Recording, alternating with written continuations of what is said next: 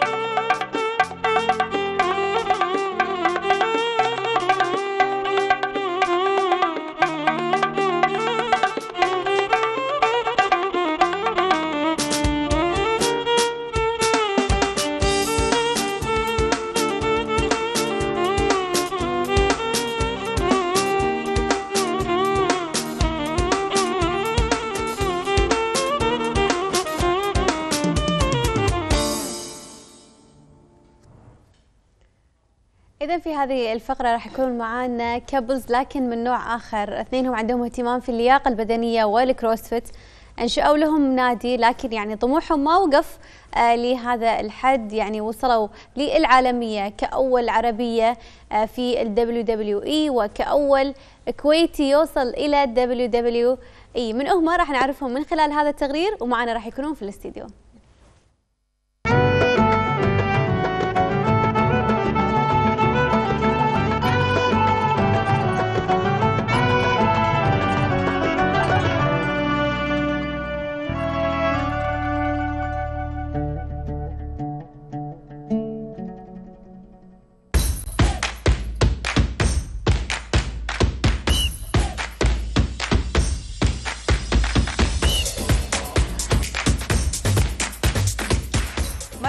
أنا شادية بسيسو أول عربية بال WWE ومدربة CrossFit.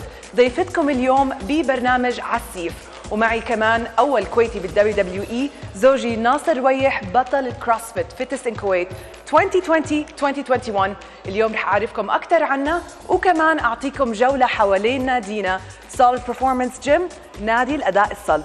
تعالوا معي. هون عندنا مكتبة كاملة من حركات ال CrossFit اللي النادي متخصص فيها بالإضافة لشهادات كابتن ناصر رويح واللي هو أكثر رجل لائق بدنيا بالكويت لعام 2020 2021 يعني Fittest in Kuwait بالإضافة لشهادات ثانية بالتدريب واللي هي level 1 و level 2 بال CrossFit وأول مدرب عربي بتخصص بتدريب ذوي الهمم الرياضي المتكيف. بما إنه كابتن ناصر مشغول بتدريب اللاعبين رح أعطيكم فكرة إيش رح تسمعوا اليوم بالحوار.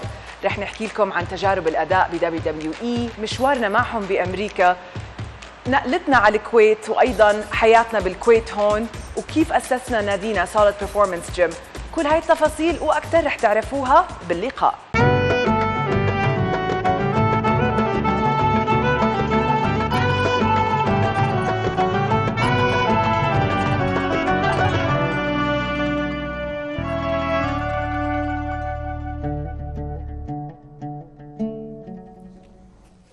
منو فينا ما عنده ذكريات مع ال WWE. أتوقع هذا يعني حب الطفولة وحب المراهقة. لا طالني أنا ما عندي ذكريات. ما عندي ذكريات ها؟ عبد الله أكيد عبد الله ريش عنده. ذكريات معها فيعني إلى إن غشينا واكتشفنا إن كلها تمثيل بتمثيل اليوم.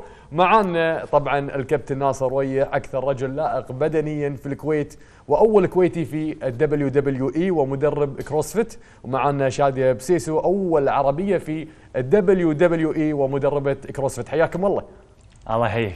حياكم الله. أكيد منورينا. يمكن هذا الموضوع بصراحة جدا يعني حلو ومهم للشباب بشكل عام لأن دائما يكون عندهم طموح يوقف على المستوى المحلي قد يكون الخليجي. لكن أنتم وصلتوا للعالمية ببلش معك آه، ناصر في موضوع وصولك لل WWE وشون تم آه، شلون تمت. وأدري في أمور صارت أثناء هذا الموضوع. شلون وصلت إلى ال- ال- التجارب آه، في هذا في هذا المكان تحديدا؟ أول شيء شكرا على الاستضافة. يعطيكم. العافية. آه أنا جدا فخور إني أكون أول كويتي يمثل الكويت في ال WWE ومثل الوطن العربي.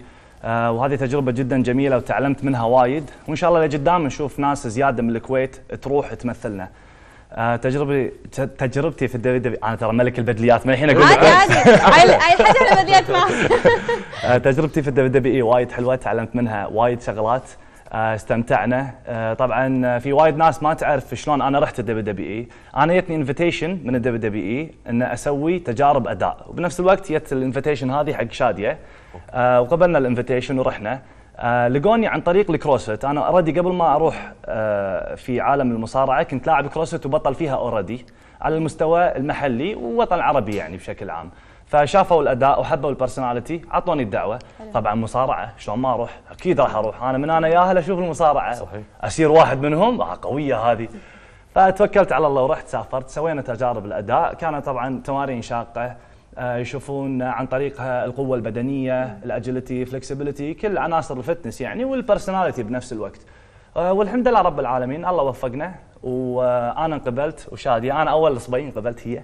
حلو حلو. وهي أول بنت فعلا انقبلت. فعلا هذا الشيء آه، تمثيل آه، شاديه يعني إحنا شفنا وانصدمنا بعد حب وتعلق فترة طويلة في المصارعة. شفنا ال- الفيديوهات اللي انتشرت آه، شلون هم يمثلون شلون الضرب غير حقيقي. كله تمثيل بتمثيل. فلما أنتم وصلتوا هناك وأنتم رحتوا إلى يعني الحلبة وشفتوها قدامكم هل فعلا كان هذا الشيء تمثيل؟ شوف WWE العروض تبعتها زي أي فيلم ممكن تحضره. آه، بيحكوا لك قصة. في إلها بداية في إلها نص وفي إلها نهاية. شو. في إلها بالضبط. في إلها آه، شخص شرير وفي إلها البطل ال hero. فبنفس هاي الأجواء بس كيف الزيادة عن الفيلم إنه كل هذا live كل إشي بتشوفه بيكون live فنسبة الخطورة زي أكنك مثلا عم تعمل stunts الحركات الصعبة بالأفلام بس بدون ما المخرج يقول cut ارجعوا عيدوا لا نعم. live okay؟ ففيها نسبة خطورة عالية وفيها مهارة رياضية ومهارة يعني ممكن تكون أشطر رياضي بالعالم بس لو أنت مش على الكاميرا وما بتعرف تحكي مزبوط ما رح تقدر تكون مصارع محترف وتكون شاطر ومعروف بال WWE انت فهي مزيج عن كل الشرير. ولا اللي خذوك من النوع الثاني؟ شرير شرير. نعمل هيك وبنعمل هيك. ال- الحلو بهذا العالم إحنا كنا ب WWE Performance Center واللي هو مركز تدريب لل WWE فيه حلو. 100 رياضي من wow. حوالين العالم آه وإحنا كنا العرب فهذا كان إشي كتير حلو كبير أصلاً، إيه. شرفني أكون طبعاً. أول عربية وبتمنى ما أكون أكو- أكون آخر وحدة. آه عالم كتير حلو آه احترفنا هاي المهنة آه بنتمرن آه ساعتين لياقة بعدها ساعتين بالحلبة لثلاث ساعات بعدها ساعتين قدام الكاميرا ست أيام بالأسبوع وكمان بال weekends بنسافر نعمل عروض يعني من أكثر الأعمال ال- يعني شغل شاق جدا الناس صحيح. ما بتخيلوا ابدا بيشوفوا العرض بيشوفوا التلفزيون آه ماتش طوله أربع دقائق ست دقائق okay خلص صحيح.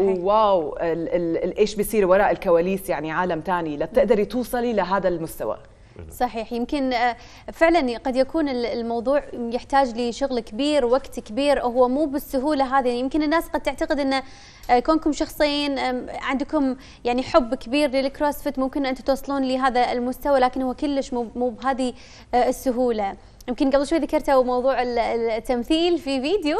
يعني مع هذه الذكريات في فيديو يعني انتشر في الكويت على موضوع التمثيل. نبي نشوفه ونرجع نتكلم. This, in, in Kuwait here, I mean, I'm, I'm sure you heard this before that they say this wrestling is not for real. Is it like you, you act or um, is it just for the wrestling shows that? Excuse uh, me, excuse me, excuse me. I'm sorry, yeah. You gave him a chance to respond to Yeah, that this is, question. this is the question I'm going to ask you now. I'd like to well- respond to the same question. Okay, please, go ahead. Well, my astute colleague, the heavyweight champion of the world, very diplomatic individual. I'm perhaps not quite so diplomatic. In fact, I find your your question and uh, your remarks insulting to what I do. Physically, no man can do what I do in the ring. If they could, why wouldn't they be out there making the type of money we make, enjoy the type of fame and lifestyle that we enjoy? So I find your remark and your question insulting. It's not my question. It's somebody. The, the, Does that huh? Does that feel fake? Does it? oh no, no, just Why don't you come down tonight and before I kick his ass, okay. All right. Just calm down. don't hey, we're not here to be insulted. I'm not here to be insulted. بس طبعا ناصر مثل لا ما انا موجود تكلمنا. كان موجود حق الفزعه كفو بس الريح مو موجود كفو وقتها والله بس يعني اللي ق- نبي نوصله في في هذا المقطع بأن المصارع تنرفز لما قال له ال- الإعلامي بسام عثمان انه آه، هذا شيء show وتمثيل ونكر هذا الشيء وقال هذا مو تمثيل. وإذا تبي تبي تشوف إن هذا شيء مو تمثيل عصب طلع من طوره. هل هذا اللي صار تمثيل؟ هو لأن ولا مو تمثيل؟ شوف بال WWE الناس تعتقد إنه تمثيل بس الطق طق أنت الحين لما تيجي تحط اثنين يطقون بعض الفرق بين ال WWE مثلا والمنظمات الثانية إن إحنا منظمين أكثر. يعني مثل ما هي قالت إن show؟ منظم بس الطق اللي قاعد يصير هذا كله حقيقي. وأنا عن نفسي آه، صار فيني concussion بسبة واحد من المباريات. فجاني بوكس على عيني. زين وصار فيني ارتجاج في المخ وعانيت منه لمدة ستة أشهر. فالطق اللي تشوفه حتى الكراسي يقول لك إن هذا كرسي مو صجي لا كرسي صجي وراح تنطق فيه وراح تتعور. بس الفرق إنه entertainment يعني. صح. طبعا طبعا أكيد. آه، قد يكون هذا الموضوع مثل ما ذكرتوا قبل شوي هو بالنهاية show ولازم إنه هو يتم. إذا ما صار هذا الشيء الناس ممكن قد يكون البعض منهم ما يشدهم. يعني في ناس قد يكونوا مو هاوين لموضوع المصارعة ما ما ما, راح يلتفتوا له بس لأنه تصير كذي فيشد يشد الكل. آه، شو السبب اللي خلاك ناصر ما تكمل في موضوع بعد التجارب اللي سويتها في ال WWE أنا كملت بعد التجارب رحت قعدنا هناك سنتين وتمرنا ولعبت كذا مباراة بس اللي خلاني ما أكمل هو ال- الجو اللي شفته في ال WWE. شفت جو احترافي مو طبيعي وخيالي وحسيت إن أنا ما سويت كذي بال CrossFit. إن لما ماشيت المحترفين وشفت طريقة آه، عيشتهم شلون ينام شنو يشرب شنو طرق الشفاء من التمرين آه، شنو ال commitment اللي قاعد يحطونه في الرياضه وحسيت إن أنا ما سويته برياضتي اللي هي ال CrossFit. فقررت إن أنا أترك ال- المصارعة وأرجع حق ال CrossFit وأحط مثل اللي تعلمته في هذه الفترة برياضتي. والحمد لله هذا الشيء جاب نتيجة. طبعا أنا هذا القرار خذيته بعد ما حاشني ارتجاج في المخ عدت حساباتي. شفت إن أنا تعورت آه، وهذا الشيء ضرني وايد واللعبة وايد physical آه، وهذا الشيء أنا ما أقدر أسيطر عليه. ما في control. ال- الإصابة تصير بكل مكان. بس هذه رياضة عنيفة فالخطورة أكثر. أنا قلت أنا الحين متعور وقاعد أتشافى قاعد أراجع حساباتي. يمكن أنا بيوم من الأيام ما أرد حق الرياضة. أنا الحين حايشني ارتجاج توازن ما في ذاكرة آه، شبه ممسوحة sensitivity من الضوء ما أقدر أتحمل ضوء آه، مثلا آه، دوخة 24 ساعة الجسم ما يسوي recovery فهني عدت حساباتي. قلت إنه تسوى أكمل بهذا المجال ولا لا؟ أتشافى وأشوف نفسي 100% وأرد حق مجالي وأحط اللي تعلمته فيه. لما راجعت حساباتي شفت إن أنا أقدر أقدم أكثر في ال CrossFit. والحمد لله أول ما رجعت ألعب CrossFit بنفس السنة صرت بطل الكويت في ال CrossFit. وخذيت على لقب. الرياضي الأكثر لياقة بدنية في الكويت. عامين ورا بعض وإن شاء الله يعني السنة الثالثة وراهم. العزيمة عاد اللي عندك؟ يعني. تبارك الرحمن شيء جميل ان تكون أنت مصر إنك تكمل في الرياضة رغم إصابتك. شادية أنت يعني عانيتي في فترة الإصابة اللي حصلت مع ناصر. كلمينا عن الظروف اللي حصلت معك. آه، فترة كتير كانت صعبة. آه، أكيد عليه أكثر مني. آه، بس كشخص آه، عم بيمارس هاي الرياضة وماشي بهذا المشوار بتشوف شخص تاني متعور. يعني إحنا كل يوم بالتمرين في ريسك إنك تتعور. وكنا نتعور كل أنه يعني physically تتعور. بس صحيح. اللي صار مع ناصر next level وحتى يعني الحمد لله ال concussion أو الارتجاج اللي صار له ما كان أسوأ شيء يعني ما كان مصنف أسوأ شيء بس بعيني كان كتير سيء إنه آه، آه، ما بقدر يطلع على الضوء. بيحكي لي راسي عم بيعورني لفترة كتير طويلة. فإشي أكيد بكسر كتير الخاطر بخلي الواحد يفكر آه، هل يعني بترجع زي بالضبط زي ما قال ترجع بتعيد آه، يستاهل حساباتك الموضوع أو لا يعني؟ بالضبط. هل أنا إنه فعلا بدي أكون موجودة هون وأكمل بهذا المشوار ولا لا؟ صحيح. أنت يمكن خطوه إن أنت تراجعتوا شوي آه، في مرحلة أو فترة من الفترات في ال WWE أكيد هذا الموضوع قد يكون أثر على موضوع العقد الخاص فيكم شلون تم الاتفاق اللي تم ما بينكم وما بين أيضا الشركة المنظمة لل WWE هل في شرط جزائي أو غيره؟ لأن أكيد هذا الموضوع ما راح يتم يعني for free بالنهاية. تختلف من شخص للتاني. آه، آه، قبل زي أي عمل إحنا هاي وظيفتي هذا طبعاً. عملي. آه، بيكون في عقد. آه، وأنا تأكدت إني آه، أتواصل مع محامي بالدولة اللي أنا رح أشتغل فيها. نعم. فأنا عن نفسي عقدي كان تمام.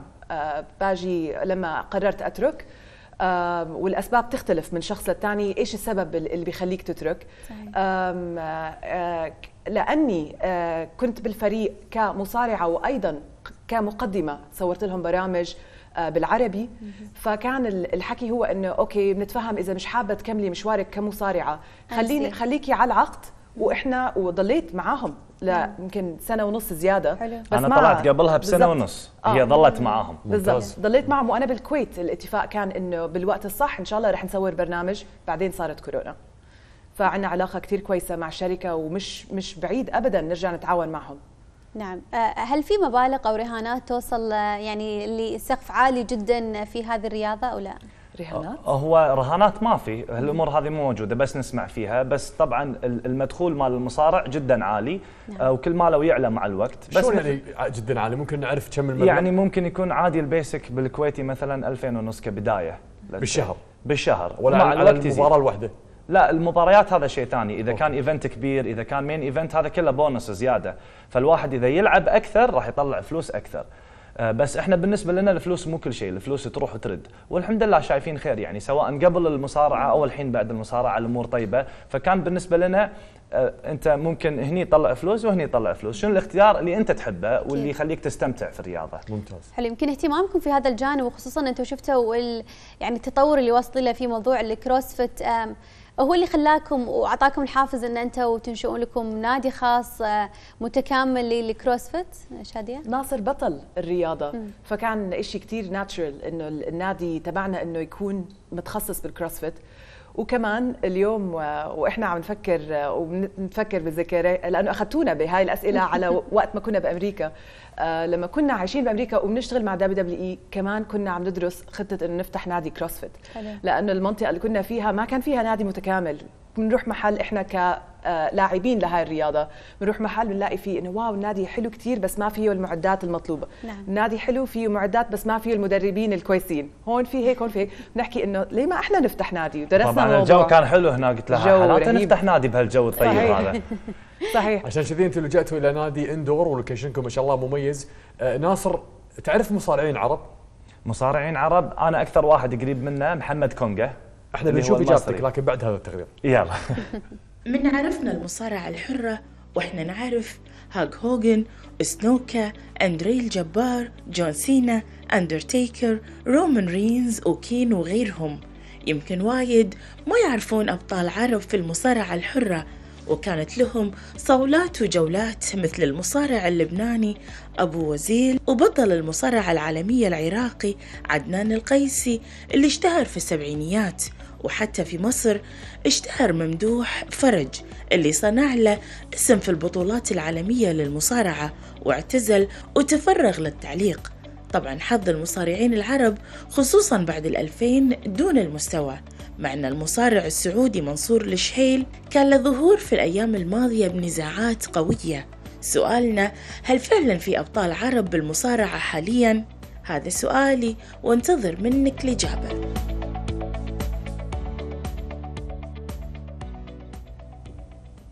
طبعا ناصر مثل ما شفنا هذا التقرير السؤال موجه لك هل فعلا تعرف مصارعين عرب آه، في ال WWE؟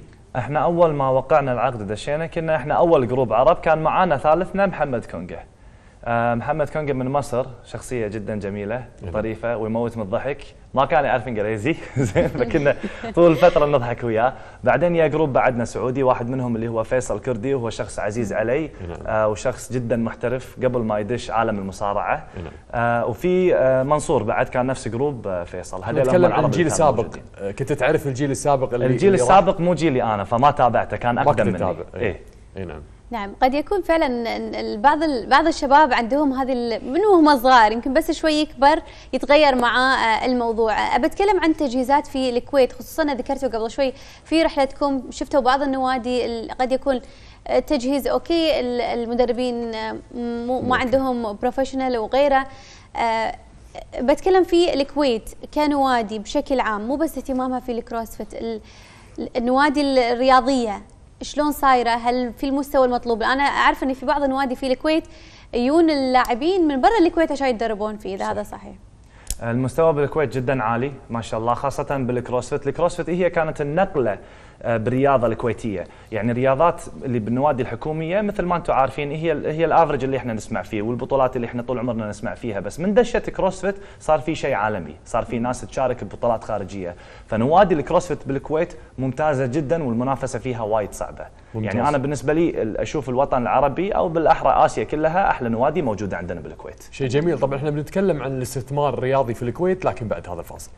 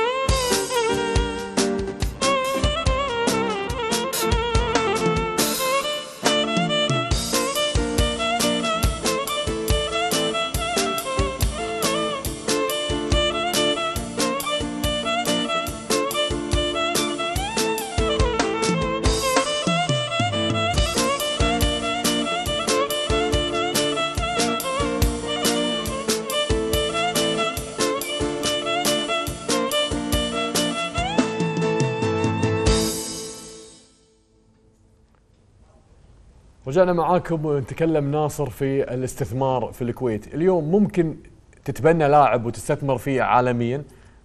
إحنا حاليا كبداية بدايتنا Solid Performance تونا بادين بمشوارنا بس عندنا هدف لقدام إنه يكون في استثمار في اللاعبين واللي هو full sponsorship بحيث إن اللاعب يكون متفرغ 100% يستلم معاش بس عشان يتمرن. حاليا حتى في النوادي الحكومة ما في آه، لاعب متفرغ 100% يعني أنا مثلا الحين محترف في ال CrossFit في فئة ال elite وكنت محترف في المصارعة وما عندي تفرغ.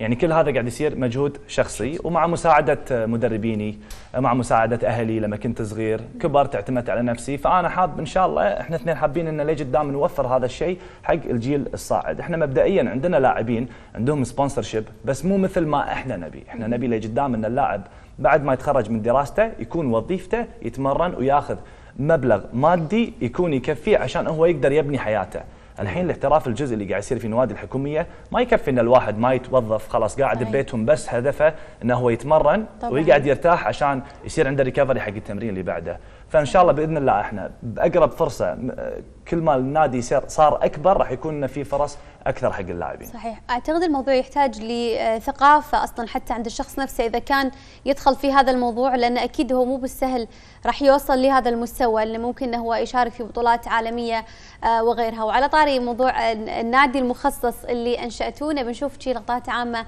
عن هذا النادي ونرجع نكمل حديثنا.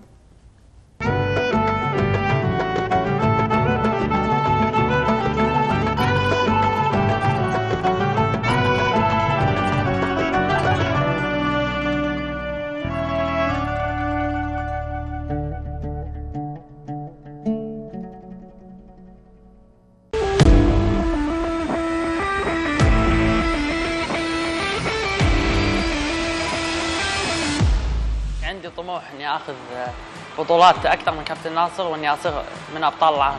إني يشد علينا بالتمرين آه، بس عشان مصلحتنا. هو يشد عليك عشان مصلحتك فهو هو حريص علي عليك أكثر من نفسك يعني بالنهاية التمرين مع كابتن ناصر من أحسن التمارين ومدرب صراحة تستفيد منه من جميع النواحي يعني من التمرين من برا التمرين آه، مدرب صراحة ما يقصر مع أي لاعب آه، إذا حاب يوصل حق آه، مستوى سواء آه، محلي ولا دولي. يغطي العيوب اللي فيك يعني كلاعب إذا مثلا محتاج تتطور بالعغلة أو الحركات الموجودة بشكل عام بالكروسفيت يقدر يطور لك إياها. في شباب هني مستواهم طيب حيل ما شاء الله. وأغلبهم جدا توهم بالرياضة فلهم مستقبل إن شاء الله. ليش لا؟ إحنا يعني نطمح إن نكون أفضل منه بيوم من الأيام ونتعلم منه بالنهاية. أحلى شيء بالتمرين مع كابتن ناصر. ناصر أقوى واحد بسرعة. يلا إن كابتن ناصر أقوى واحد. كابتن ناصر اعتر واحد. واعتر واحد. بس خلاص.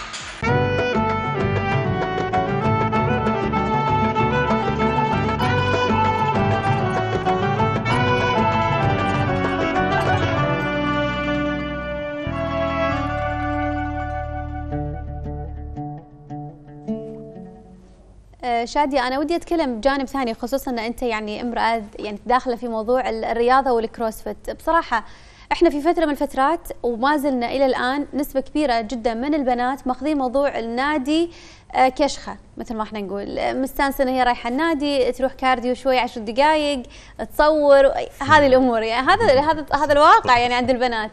آه، لكن البعض منهم لا عندهم اهتمام في موضوع الرياضة بشكل كبير وال CrossFit. أنت شلون شفتي اتجاه البنات في موضوع ال CrossFit تحديدا؟ هلا أي سبب ممكن يخلي البنت تتشجع تتمرن؟ سبب كويس. شو ما كان okay؟ إذا جاي مع صحباتها okay. آه، إذا جاي عشان بتحب تصور بالنادي okay. بس تيجي وبعدين انت بتفيديها بتورجيها وبتشوف من الناس اللي حواليها إنه هي مش بس قصة تصوير وهيك أو إنه مثلا أواعي نادي حلوين. آه، أي عمر كان آه، لو شخص تمرن أقل من ثلاث مرات بيكون مقصر. لو كان عمره 14 لو كان عمره 40 لو كان عمره 60 فكل ما هلأ عم بتقدم الوقت بنصير نشوف وحتى مع أهلنا بنشوف مثلا نطلع كمان على الأجانب برا إنه شخص برا آه، بدول ال- الناس بيشتغلوا فيها أكثر بإيدهم آه، بتكون صحتهم أكبر آه، أحسن عفوا آه، ب- بعمر الستين. آه، بس مثلا آه، إحنا بالدول العربية وين في كتير حدا بيساعد بالبيت وهيك بيكون صحة ال- الشخص مش كويسة. فالبنت آه ممكن تبلش تيجي لهاي الأسباب أو جاي مع صحباتها جاي تستانس okay. دخلت على النادي. بعدين أنت بتساعديها تكتشف إنه مش بس عشان شكلك يكون حلو هاي رح يجي شكلك رح يصير حلو بس كمان صحتك رح تصير أحسن. شيء كتير مهم. أنت شلون تشوفين البنات معك؟ خصوصا ان أنت تدربين بنات CrossFit. بجننوا. هو من أحلى يعني من أحلى الناس اللي تعرفت عليهم بالكويت هم لاعباتي. يعني مشوار مشوار. حببتهم بال CrossFit بنفس الطريقة اللي أنا صرت أحب فيها ال- يعني تعرفت فيها على الرياضة. فأخذتهم بنفس المشوار لأنه رياضتي بالأساس هي جوجيتسو. أم، أنا بالإمارات كنت آه، بقدم فعاليات وبقدم برامج تلفزيونية وأيضا بلعب جوجيتسو. وتعرفت على رياضة ال CrossFit عشان أصير fit للجوجيتسو. تدرين أول مرة أسمع فيها هذه الرياضة؟ آه، آه، فنون قتالية. أرضية فنون قتالية أرضية. صحيح. بس ال- الغريب في الموضوع يعني اليوم شادية إن أنت آه، ما خفتي من نظرة المجتمع أنت كلاعبة فنون قتالية ورحتي إلى ال WWE؟ نظرة المجتمع عربيا آه، ما ما حس, حس يعني خذتك خطوه لورا ما خفتي؟ من أول ما وقعت مع WWE هذا الخبر صار يعني خبر متداول حوالين العالم. عملت شو ما بتتخيلوا interviews عملته. دائما كنت أنسأل هذا السؤال وكنت أفكر إنه أنا ليه ما حسيت هيك؟ بحس كثير له دخل بالبيئة اللي أنت فيها وال وال وال والناس اللي حواليك. بالناس الحو... يعني بالمن... وين ما أنا كنت بالأردن مش عيب وهو أكيد مش عيب تلعب رياضة بس إنه ما في أي شيء آه، بيفرق بين البنت والشاب. العفو بس هي هذه رياضة تعتبر رياضة عنف. صحيح. والعنف يعني آه، دائما يكون صفه من صفات الرجل. إن فالرياضات هذه اختصت بالرجال سواء تتكلمين اليوم عن الجوجيتسو بعد يعني آه، رياضة وناصر موجود بعد اليوم. يعني هذه الرياضة وال WWE والمصارعة ما هي رياضة نسائية؟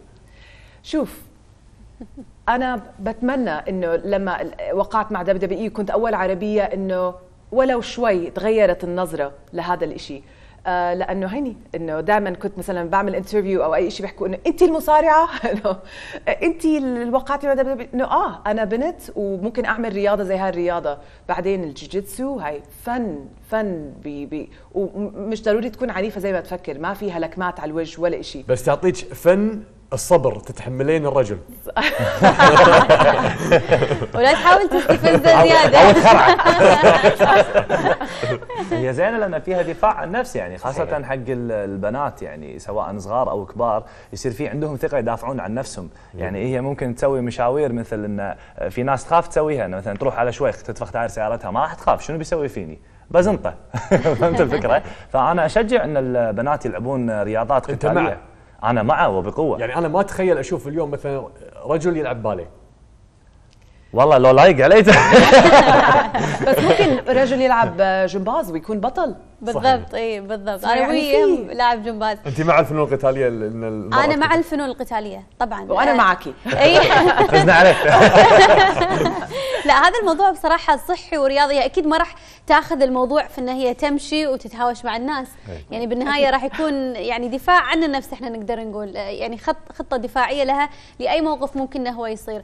آه ناصر إيش كثر يعني وجود شادية معاك في هذا المشوار؟ قاعد يعطيك الحافز الأكبر في إنك أنت توصل لأن أدري إن أنت تبي توصل إنك أنت تكون من الأوائل عالميا في الكروسفيت. آه أنا من قبل ما أصلا أفكر إن أنا أحترف بالكروسفيت شاديه كانت دعم وايد كبير لي داخل الدبليو دبليو إي وحتى قبل ما نوقع في الدبليو دبليو إي. آه فوجودها معي قاعد يسهل لي حياتي كزوجة طبعا وك partner إن أنا أحس إن في أحد قاعد أقدر أعتمد عليه مخففة علي شغل مثلا بالدوام. هي ماسكة إدارة النادي بشكل كامل من الألف إلى الياء. أنا بس بالقرارات اللي تحتاجني فيها أكون موجود. مفرغتني 100% بالبيت ما أحتاج أسوي ولا شيء. كل اللي أسويه أقوم من النوم قهوتي جاهزة يلا برا.